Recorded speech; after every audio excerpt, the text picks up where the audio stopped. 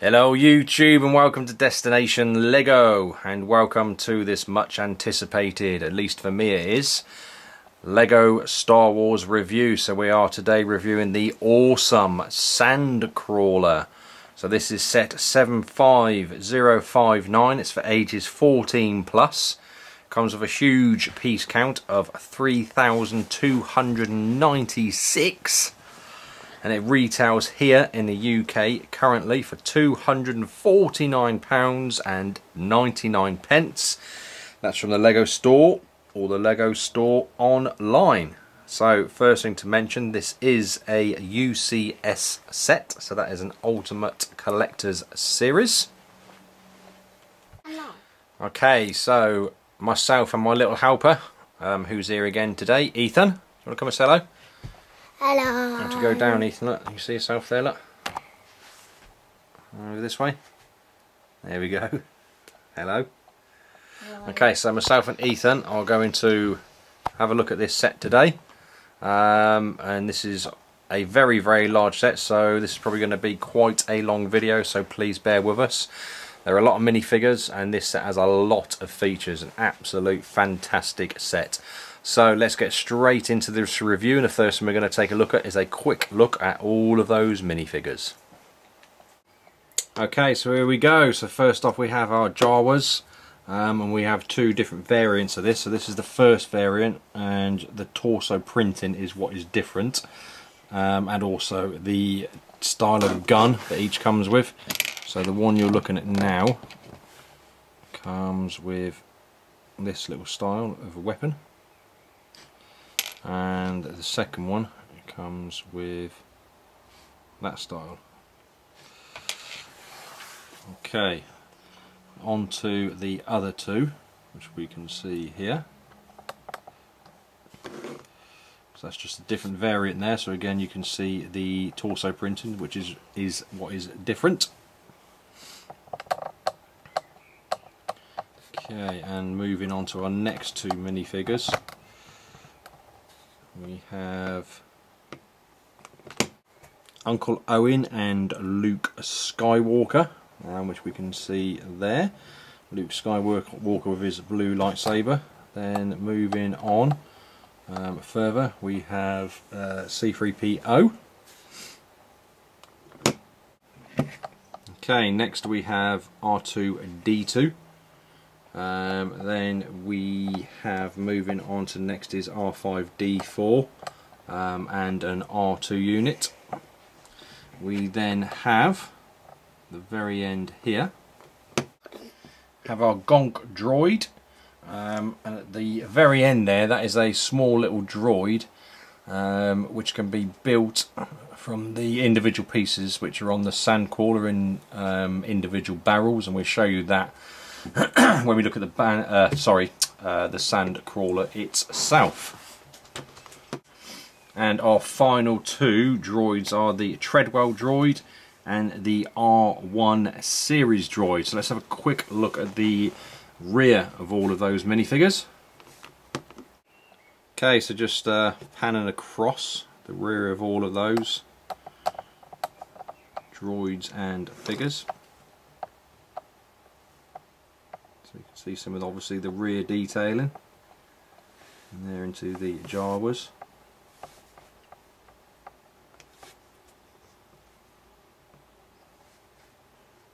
And panning back around again. So that is a quick look at all of the minifigures. Okay, here we go guys. So this is the awesome Sandcrawler. So then, Ethan, what should we show them first, you reckon? Because there is uh. so much to show on this set, isn't there? The what? Speak up. The crane. Ethan wants us to show you the crane first. The crane, sir. There's two of them. Oh, no, you're right. There are two cranes. So I think what we'll do, as we're looking at this side, we will try and work our way around from the side, just show you the functions on each side of this, because like I said, there is a lot. So, yeah, first of all, these all open up, which Ethan is showing us. Um, and in each one of these, there are these small, Square. small barrels or containers, um, which is what I referred to earlier. And where's he gone? the little droid, what actually happens, so let's just zoom in a little bit so we can see, actually see what I'm talking about. So this little droid um, go comes apart into uh, pieces and each of the barrels fits in each one of these slots. So let's just show you that. So for example that might hold his headpiece like so. Put that back on and that will go into that middle section. We then have another barrel which may hold that piece.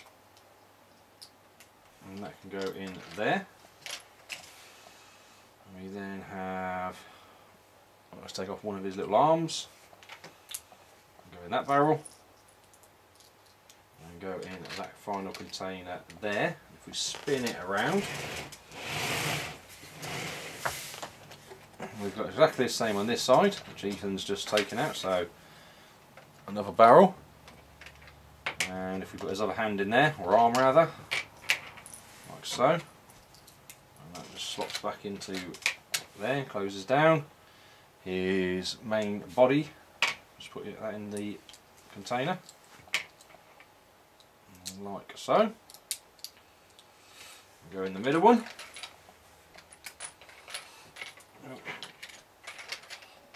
And the final the foot piece. Ethan's putting it into the final barrel which will go into the final section which we can see there This isn't going on. let's have a look no no that's too big for that isn't it by the looks of it yeah, let's just put it on there for now so remember that the foot is too big for that piece Maybe it goes in the square. Yeah, it will do on the other side. So let's just leave that for now. Let's just pretend that does fit in there. And it closes in there like that. Um, we'll change that. We'll swap that around in a little while, Ethan, okay? Yeah. So they all fit into these sides there. So next thing while we're zoomed in here, we have this piece here, which opens, and that's what the containers um, or the droids actually can go through there onto the crane and they fall into containers but we will show you that in a second so let's just zoom out a bit Ethan okay so next thing to show you is these sides so actually there what Ethan's showing you there you've got this little ladder in the very bottom which goes up and down sides come we up like that so we've got the rear side which comes up Why do we need a ladder? the ladder was on the real one, Ethan. You can get in there, so the drivers can get in and out. Hmm. In there, so it's for display. There's no function there, so that's for display purposes. The ladder at the bottom. So this side comes up, which allows us uh, to get into this area here. We can see the mechanism there um, inside, which operates the um, wheels. Okay, so moving along, we have this front piece which comes up as well. There's a little, um, little lever or handle piece there which you can grab hold of to open that section up. So if we just open that up there, and again that just gives us some access to the inside. So while we're there, I will take out. This is one of the crates, so it comes with three, um, of these crates which we can obviously use inside to um, capture and store the droids like that um, and again that will just simply slot back inside then we'll get a better look at that when I show you the inside from the top in a second okay so continuing round to the front now um, actually while we're here because this is so big, it's quite difficult to show you some of these things, but I will show you in a second from the top view. But up here, there is oh, a little arm with a crank on it, or cog, and you turn that, and that raises and lowers the front, like so. So you can see that going down and up as I spin this, and that obviously gives us access to the front of the sand crawler adjust these lights. Hopefully we can see a little bit better in there. Get light in it. A little bit better. It's difficult to get some light into that. Um, so first thing I'll show you in there, there is this little speeder. So there's a little speeder that sits in there, which the obviously the Jawas um, operate. You can see there a bit better now. And that is a sticker on the top there, so everything you do see on this set is a sticker. I think there is one printed tile from memory when I put this together, but I can't remember where it is. um, yeah, if I discover it when I'm taking you around the set, I will point it out. So that just simply slides back in, and again, there's a little section there to keep that in there. So the first crane of two is here, um, which we can see just hanging down there. And again, let's zoom that in a little bit. See that a bit better. There we go. Um, and this actually extends out, so we can pull that out, which we can see a bit better then if I just spin the set round. We can see that there as well. So again, you can just pull that out like so and push it back in. And again, this works on a cog, which is here, black piece. Um, and we just simply spin that around. It's awkward to do this and show you at the same time. Spin that round and obviously we can see that now lowering. So we can get that so it goes right down to the bottom like that. And simply turn it the other way to start obviously raising that crane. And there are a number of attachments that fit onto these crane pieces and I'll show you those with the other crane um, in a second. So again just turn that and close the front up like so. And just go around to the other side. Move these lights back out. Okay so first of all we have the same functions on each side of this. So that side comes up there and the end um, also comes all the way up like so. Okay and then here we have another crate um, obviously uh, this side also um, which I already pointed out and showed you that. And again that is obviously where we can um, place some of the droids. So they can fit in there quite nicely. Again just slot that down into position if we close that one up. Um, again there we have another one of these door areas. Um, and I will show you what that's predominantly used for. Um, at this opening here um, we have these ladders and they just simply lift up and extend out and go down like so. Don't reach all the way to the ground um, but obviously there's another obviously access point there to get into the sandcrawler. Okay, finally we go around to the rear of the sandcrawler first of all there is some great detailing I have to say on the rear of this sandcrawler um, took quite a bit of time to put this bit together. Um, real lot of detailing excellent use of pieces. Quite a few stickers here on the rear as well um, but I think it really does look the part. So the main thing to point out whilst we are looking at the rear here are obviously the tracks at the bottom um, and how we operate those are through this piece here. And you see that as I'm turning that that obviously turn those tracks and then can obviously pull it and push it along using that as well and obviously it can be maneuvered and steered like that okay so I've just taken this off the tripod now because uh, that's going to be easier to show you the top and the functions on the top and indeed inside. So again just carrying on from obviously what was the rear. We have some good detailing on the top so the rear as well. Um, we're moving across the top of the sandcrawler here. There is um, what I was showing you earlier. So this is what lowers and raises the bottom there. So you can see now as I'm turning that I should be able to see that there Okay, so across to the front of the sand crawler. So again, this is another section that opens up. So this just simply lifts up and we'll go all the way back like that. Um, and then inside um, we have obviously the numerous control panels obviously to operate the sand crawler itself. Um, and again these are stickers, uh, multiple stickers um, in this particular section. Which you can see there.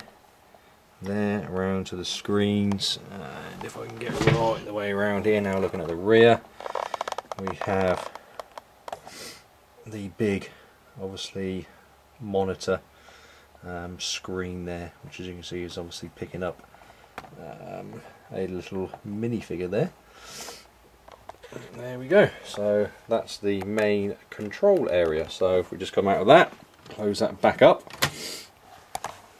Okay shot like that. Okay so now we will show you the inside. So there are two main areas that come off. So first of all here at the rear this just simply lifts off. Ethan I'll pass this to you if that's okay.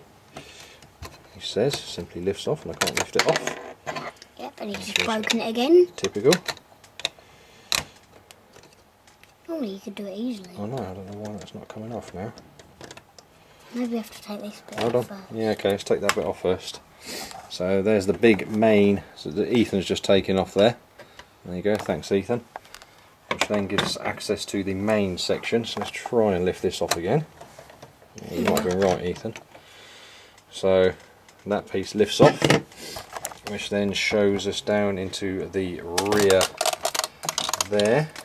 Again, trying to get some additional light inside. Okay, so what we want to show you next is the crane that's in here and this is actually this so first of all it can move across like so And up yeah somehow. we lift it up like this Move it uh, and then there's this poor small piece at the bottom which we lift up to keep it in position like that. This can extend and move out. Um, for the actual crane piece again we just simply turn the knob there and you can see It is going down. the actual crane piece lowers down. So where this um, is used if we take it right the way to the end here this can spin out and actually extend so there we can now see it is actually over the side of the sand crawler. Um, and then if we lower it or start to lower like so.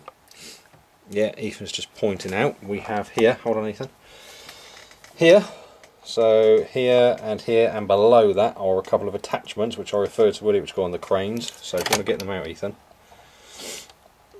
just hold eh, hold them for a second just those two so first of all we have give us one of them we have that piece there we go and that can just hook onto Now, onto the crane onto the hook right there. can you put it on for me Ethan please Hold on.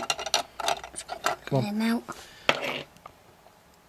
There you go, it's just showing you. So there we go, that's hooked on. So that can be um, used for lifting up one of the, well, anything really, one of the droids, which Ethan's going to try and show us now. Not sure that's the best one for picking one of those up, Ethan. You might be able to do something. No, no, you've done it. Well done. Okay, so then what Ethan's now doing is raising it, get it level with the little door, Ethan. Keep going. That's it. So what happens is it then gets pushed in through the doors, which you can see there, which Ethan's just done. And it gets stuck. And what ends up happening then is it's straight into the crate. Well done, Ethan. You've got these, obviously, pieces here which represent runners that fall down. And it ends up in the third and final crate, which is there. So there you can see upside down is the one that Ethan just dropped in there. Well done, Ethan. That was a good shot. Let's go the other one. Okay, so we We've then have one. This one. that one. We then have this piece. Let's have a look. We have that piece then, which is another attachment. You want to put that one on the crane?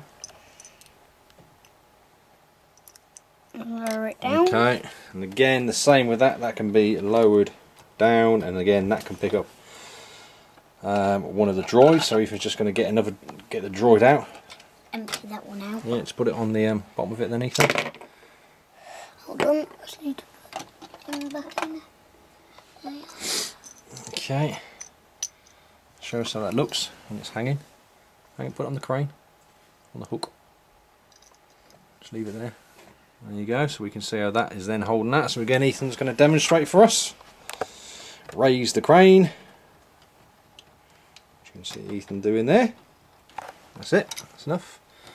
And again, just push it through the door. And he has landed. Yay! Well done, he's landed in the crate. Do you want to get that crate out next, Ethan? Got crate. The one that you just landed in. Yeah. Get the whole crate out. Oh, I know what you can Yeah, put that down there. Okay, so if you take that one off, I So, know. our final one, we have another attachment in here, hidden away in here, believe it or not. So it is actually. I'll try and get it out with my. Big fat hand. Yeah, thanks, Ethan. My big fat hand. so there's that piece. But it is another crane attachment. So that is used for the crates, which Ethan is now showing us. Excellent job, Ethan. So I can catch it. Okay, so lower the crane again, bring it all the way to the end. Oop, sorry about that. Okay, so Ethan's going to hook it on. Excellent, so you can raise that. So now we can see the final attachments which are used to actually lift the containers themselves. So you could have a full container or an empty container. Like that. And again, what we would do obviously is get this up to here. Can you just unhook the ends, Ethan? Okay, and then what would obviously happen is the crane would put it in there and you can see that's a perfect fit through that window. Let's just move up to there. Don't push it yet. Hold on, I'm going to try and get in here so that we can Is that see it come through. And I push it through. Yeah, so push it through now. And there we go. So there you can see it land. In sideways, but you get the idea, guys. That obviously fits into there. Ready? Final shot into the side there, so you can see those two crates. There's that crate. Yes, Ethan, what else have we got? Have I forgot anything? I'll try to show them something. Okay. The video's getting a bit long now, Ethan. I think we're going to have to uh, start to uh, round up with this one. Um, while Ethan's doing that, I'm just going to spin this round a little bit, Do anything. just so that we can get a bit of a look at those tracks there at the rear. We can see that. Um, if I'm turning that again, we can see that. Awesome! You've got four sets of track at the rear and another four sets of tracks at the front. These ones don't turn. Um, but the way they've designed them, um, they've got sort of um, suspension. I'm try and turn this up now, and this is a beast of a set. So I'm praying I don't drop this. Oh. Bump. Um, you can kind of see the underside there. What was that? Probably the crates. Oh, it's the speeder. Oh yeah, he fell off his face. Okay, so Ethan's going to show us one final lift. And while he does that, I'm just going to. Uh, And it has got a minifigure this time. it's got a minifigure in there, has it? Got a droid in there. Who's in there? R2D2. Oh yeah, R2D2's in there. Well done. So Ethan's now got R2D2 in the crate, attaching the crane. Well, and Ethan, show us this lifting it down there. There we go. And he's lifting up. Awesome. Right. You can just hold this for me, Dad. That's it. You got it. And